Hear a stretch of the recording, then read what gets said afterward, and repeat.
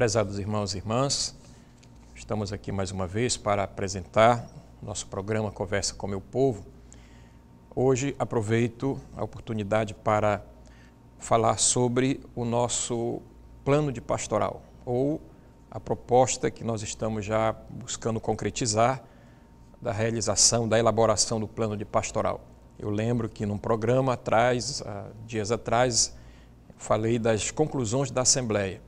Então hoje vou retomar novamente esse tema para indicar os caminhos que nós iremos, a partir de agora, tomar para a elaboração, concretização do nosso plano de pastoral. Eu lembro que Dom Alberto, avaliando todo o processo que veio da Assembleia, ele propõe a, o lançamento do plano de pastoral para a Páscoa deste ano, início da Páscoa deste ano. Então, teremos todo esse tempo aqui da quaresma tá, para começar, para elaborarmos, junto com a coordenação de pastoral, a, a, o plano de pastoral.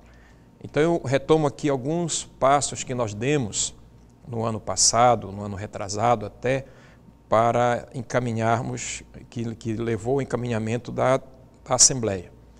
Eu lembro que no processo de avaliação e de, de propostas que deveriam surgir, uma pergunta guiou-nos nesta caminhada, neste processo, que era exatamente essa: qual a resposta pastoral para a nossa arquidiocese de Belém, neste momento em que nós estamos vivendo, olhando para o futuro, olhando para 2016.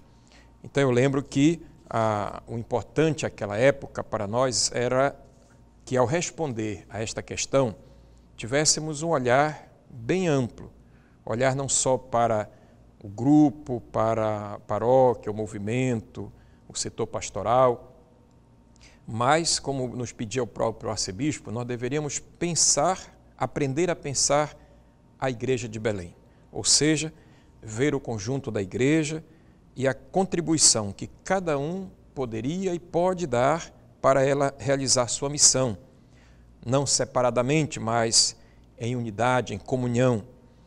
A construção e a execução de um plano de pastoral envolve a todos na corresponsabilidade. Nesse sentido, a importância do plano de pastoral é extraordinária, porque ele que orienta os nossos passos, dá as indicações, diremos, dá o tom, da verdade, da caminhada da igreja.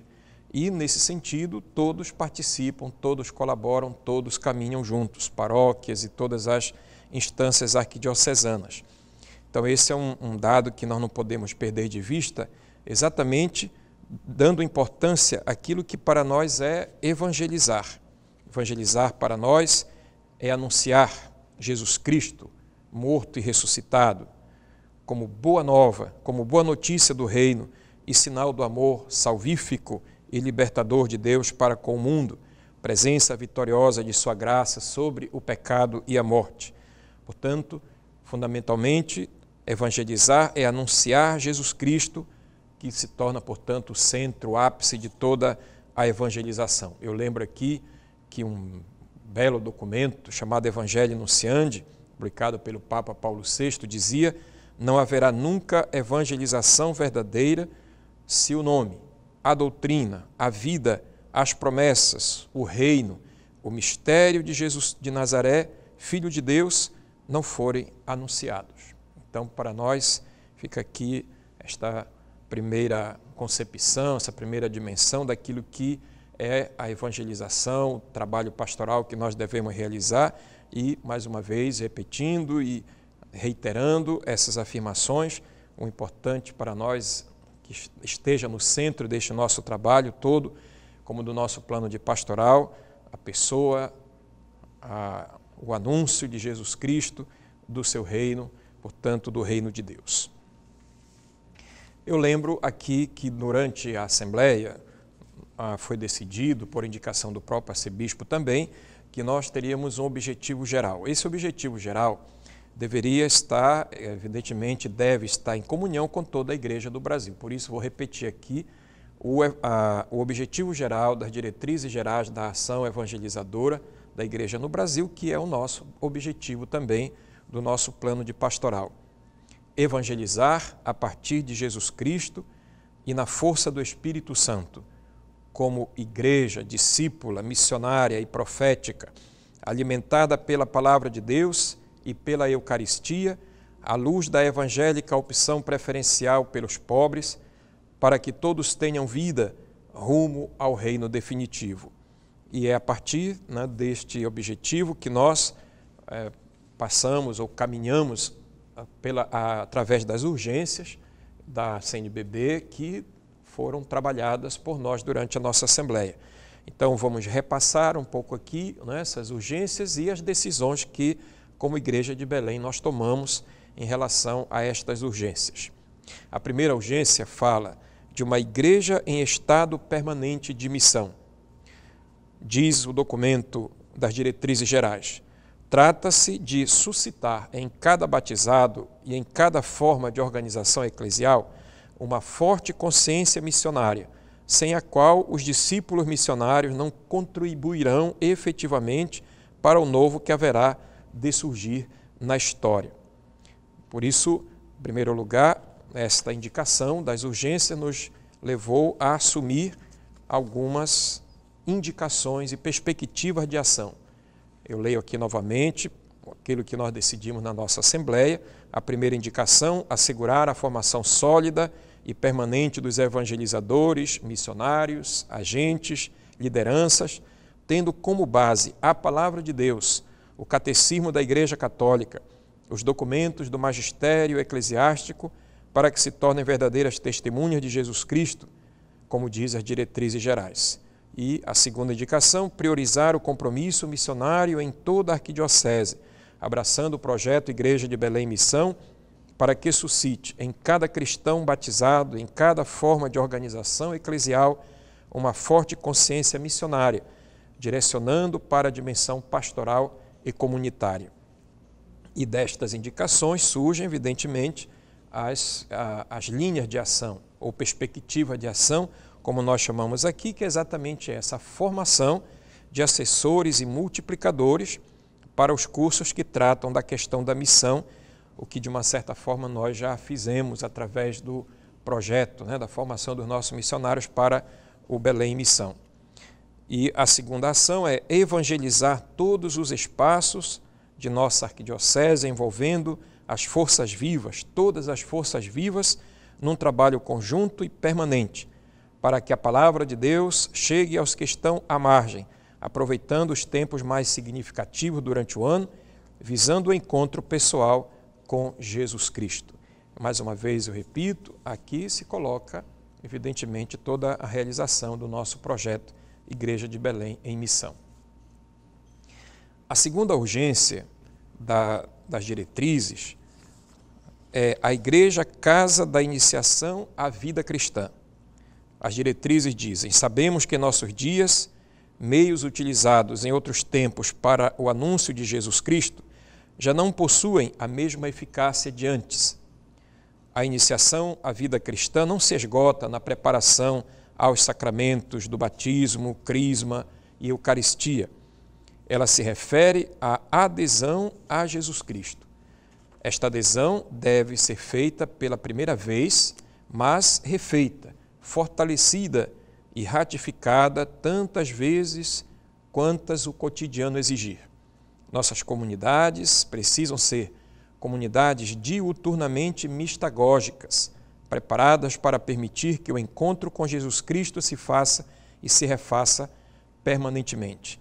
Em vista de alcançar esta urgência, de realizar esta urgência, na Assembleia foram propostas as seguintes indicações: estabelecer o processo de transição da catequese para a proposta da iniciação cristã nas paróquias, que leve a uma reestruturação de toda a pastoral catequética e que integre e envolva a pastoral familiar de conjunto. A segunda indicação, promover a criação ou fortalecer onde já existe a escola da fé dentro da igreja para pastorais, grupos e movimentos, aberta a todos os fiéis da paróquia, com aprofundamento de temas no campo religioso e no âmbito social. Então vejam aqui a necessidade que temos de exatamente realizar, ao, ao procurar realizar estas indicações de começar já, desde agora, a repensar de fato toda a pastoral catequética em vista de adequá-la a esta urgência que não é só daqui, mas é da igreja de todo o Brasil.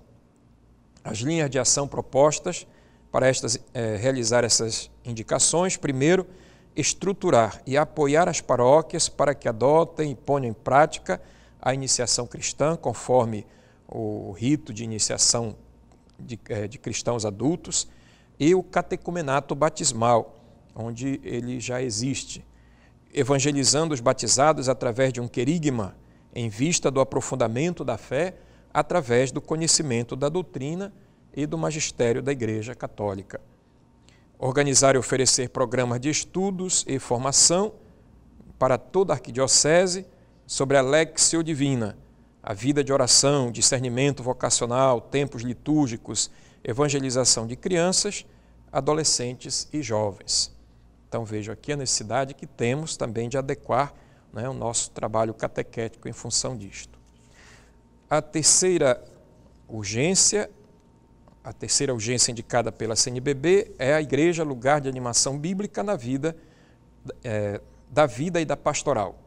É, pois, no contato eclesial com a palavra de Deus que o discípulo missionário, permanecendo fiel, vai encontrar forças para atravessar um período histórico de pluralismo e grandes incertezas. Bombardeado a todo momento por questões que lhe desafiam a fé, a ética e a esperança, o discípulo missionário precisa estar de tal modo familiarizado com a palavra de Deus e com Deus da palavra, que, mesmo abalado pelas pressões, continue solidamente firmado em Cristo Jesus e, por seu testemunho, converta os corações que o questionam ao se curvar diante da palavra, o discípulo missionário sabe que não faz isoladamente. Ele acolhe o dom da palavra na comunhão com esta mesma palavra e com todos que também a acolhem. Acolhe o dom da palavra na igreja e com toda a igreja. Assim, a palavra é saboreada na alteridade, na gratuidade e também na eclesialidade. Veja aqui, portanto, como a, palavra de Deus tem um lugar central em todo este processo, seja aquele da animação bíblica, seja aquele da, da, da missão, da, da catequese como um todo. Enfim, a palavra de Deus aqui ganha verdadeiramente uma, uma importância fundamental. Nós vamos fazer uma pausa no nosso programa, voltaremos a seguir. Voltamos com o nosso programa, Conversa com o Meu Povo. Hoje nós estamos reforçando, podemos dizer assim, este conhecimento, aprofundando o nosso conhecimento sobre as decisões de nossa Assembleia, que foram adequadas às, às decisões das, da CNBB, procurando adequar o nosso trabalho em, em, vista de tudo aquilo que se realiza na Igreja do Brasil. Falávamos no programa, na parte anterior, da, do terceira, da terceira urgência, igreja, lugar de animação bíblica da vida e da pastoral. Vejamos como a, Assembleia assumiu para a Arquidiocese de Belém esta urgência. A primeira indicação é acolher e direcionar as pessoas no que diz respeito às diversas realidades das famílias, seguindo os ensinamentos de Jesus e os documentos da Igreja, com especial ênfase a familiares consórcio do Papa João Paulo II abraçar com decisão a formação e a animação bíblico-pastoral para revitalizar o interesse e o gosto pela leitura da palavra de Deus em linguagem fácil de ser compreendida e acessível aos leigos, principalmente aos jovens, para que dela possam fazer uso no dia a dia e assim assumir que Cristo é o caminho, a verdade e a vida. Destas indicações brotaram as linhas de ação criar ou fortalecer equipes de animação bíblica com a específica missão de oferecer meios que aproximem as pessoas da palavra de Deus, para conhecê-la, interpretá-la e praticá-la corretamente, proclamando-a como vida em abundância para todos. E a segunda linha de ação, revitalizar e animar o estudo permanente da palavra, contextualizando-a a partir da nossa realidade de modo que essa iniciativa seja acessível a todos e possa despertar o interesse e o gosto cada vez maior pela leitura da Bíblia. A quarta urgência é a igreja, comunidade de comunidades. A busca sincera por Jesus Cristo faz surgir a correspondente busca por diversas formas de vida comunitária. Articuladas entre si na partilha da fé e na missão, estas comunidades se unem, dando lugar a verdadeiras redes de comunidades. Entre elas encontram-se as comunidades eclesiais de base e outras formas de novas comunidades, cada uma vivendo seu carisma, assumindo a missão evangelizadora de acordo com a realidade local e se articulando de modo a testemunhar a comunhão na pluralidade. Um dos maiores desafios consiste em iluminar com a boa nova as experiências nos ambientes marcados por aguda urbanização, para os quais a vizinhança geográfica não significa necessariamente convívio, afinidade e solidariedade. Outro desafio ainda encontra-se nos ambientes virtuais, onde a rapidez da comunicação e a liberdade em relação às distâncias geográficas tornam-se grandes atrativos. Estas situações configuram, portanto, desafios para a ação evangelizadora, na medida em que nada substitui o contato pessoal. Olhando esta urgência, nossa Assembleia colocou as seguintes indicações: propôs Primeiro, criar e fortalecer pequenas comunidades urbanas e ribeirinhas para vivência na comunhão e evangelização, formando o laicato sobre a missão e o reino de Jesus Cristo, para torná-lo mais atuante e engajado no trabalho missionário, utilizando também os meios de comunicação como ferramentas. Fortalecer a pastoral de conjunto, formando verdadeira rede de comunidades, onde se promova o intercâmbio de conhecimento e colaboração entre todas as forças vivas, nas diferentes instâncias da realidade pastoral da Arquidiocese, como grupos, comunidades, movimentos, paróquias e regiões episcopais. Aí surgem as linhas de ação.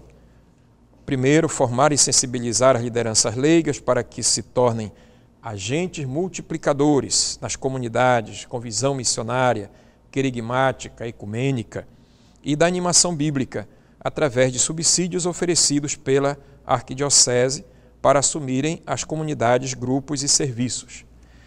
E a segunda linha, incentivar a formação de mais grupos de partilha da palavra, cenáculos, grupos de oração, grupos de vida, comunidades eclesiais de base, comunidades urbanas e ribeirinhas. Com, com visita nas comunidades e famílias, com especial atenção aos jovens, para evangelizá-los e acompanhá-los através de iniciativas como maratona, mutirões e ação global.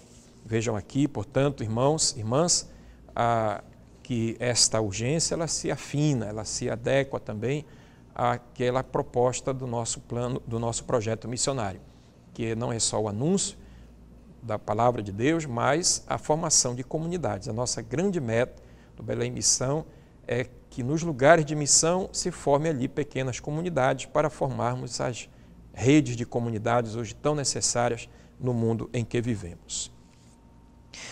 A quinta e última urgência que nós aqui destacamos é a igreja a serviço da vida plena para todos. Eu vim para que todos tenham vida e tenham e a tenham em abundância.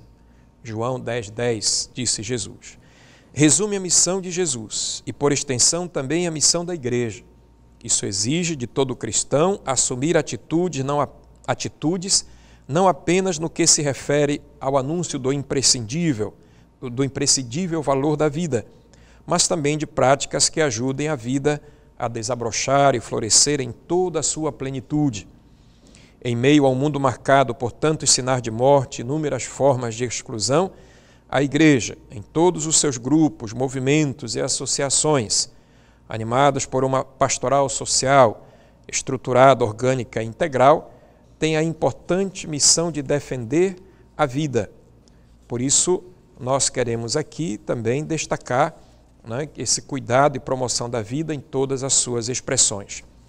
E as indicações que brotaram em nossa Assembleia a respeito desta urgência foram, primeiro, formar e capacitar as forças vivas, trabalhando como igreja em diálogo permanente em favor da vida e da justiça, combatendo todas as formas de morte, para ir ao encontro das pessoas mais pobres e necessitadas e apoiar as lutas presentes no seu cotidiano, com um trabalho de visitação intensivo e acolhida às famílias e como meio de transmitir esperança, fé e compromisso com a vida.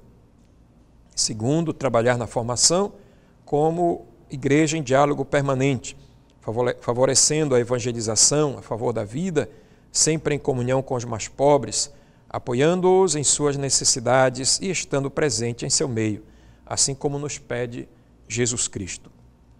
As perspectivas ou linhas de ação que brotam desta urgência, primeiro, promover a formação das forças vivas para o exercício da caridade e para uma cultura de paz, com abrangência em todas as áreas da vida social, econômica, política, educacional, lazer, meio ambiente e ecologia, buscando novos parceiros e voluntários para incrementar a solidariedade e as ações caritativas realizadas pela Igreja, como cursos de capacitação, cursos profissionalizantes para a geração de renda.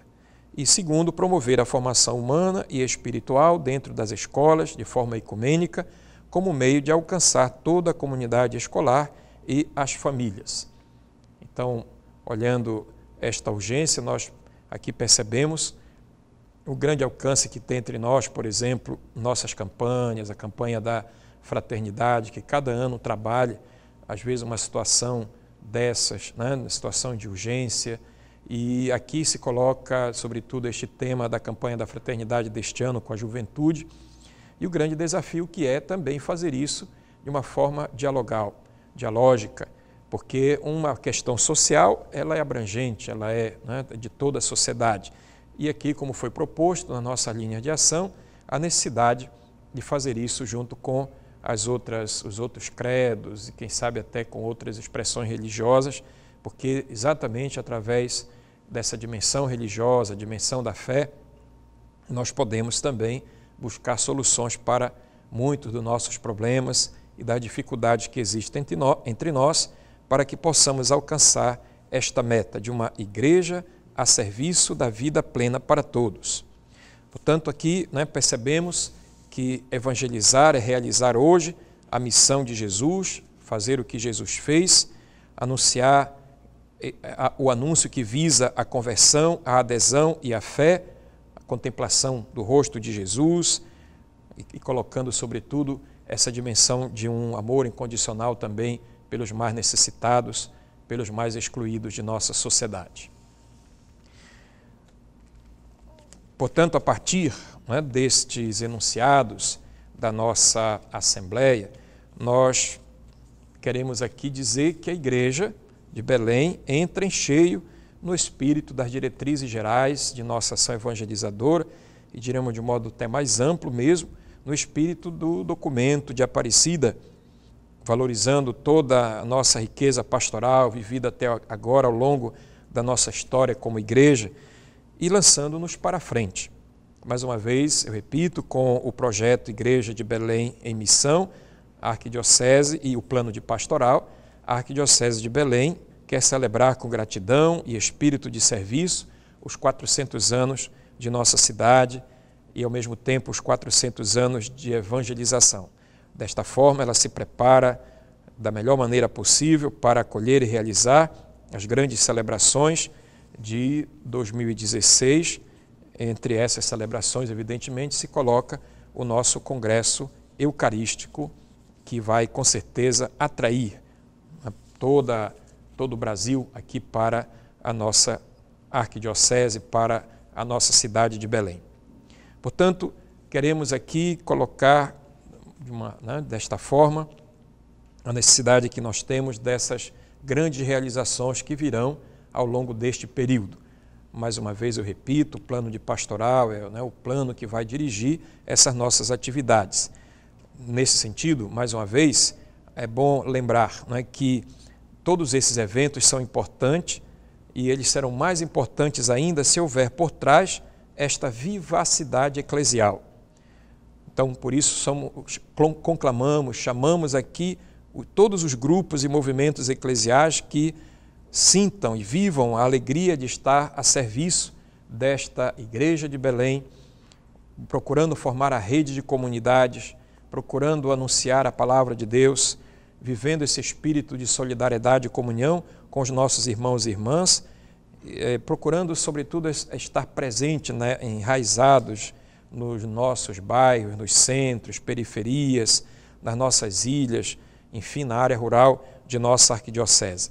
Poderíamos dizer aqui, eh, se configura um verdadeiro rosto de uma igreja, cada vez mais eh, igreja de Cristo, igreja que constrói o reino de Deus. Isso nos ajuda a cultivar a comunhão no, pluralismo, é, construir a unidade que valoriza as diversidades que nos enriquecem. Por isso, precisamos redescobrir e valorizar a grandeza missionária e profética de nossa igreja, para que nós possamos, deslanchando o nosso projeto, deslanchando o nosso plano de pastoral, com esse forte dinamismo missionário, possamos também, quem sabe, a curto, médio e longo prazo, despertar as vocações religiosas, sacerdotais, as vocações para os serviços da igreja. Gostaria de concluir mais uma vez o nosso programa rezando a oração para o projeto Igreja de Belém Missão, para que a partir do, do envio de todos os missionários nós possamos colher os frutos deste grande trabalho que nossa Igreja de Belém vai realizar. Ó Deus, nosso Pai, que enviastes para a vida do mundo vosso Filho Jesus Cristo, palavra divina, e nos chamais a acolhê-lo na fé, concedei-nos a graça de sermos discípulos missionários, anunciadores da verdade do Evangelho. Na fidelidade a Jesus Cristo, nosso Senhor, obedientes à vossa vontade, empenhemo-nos no serviço do vosso reino. O vosso Espírito Santo ilumine e fortaleça a nossa missão para que a comunhão, dom da vida plena, dom da vida divina, cresça cada vez mais em nossa igreja de Belém e sejamos testemunhas do vosso amor. Ó Mãe e Virgem Maria, intercedei por nós para vivermos a missão com alegria e perseverança. Amém. Abençoe-vos o Deus Todo-Poderoso, Pai, Filho e o Espírito Santo. Amém.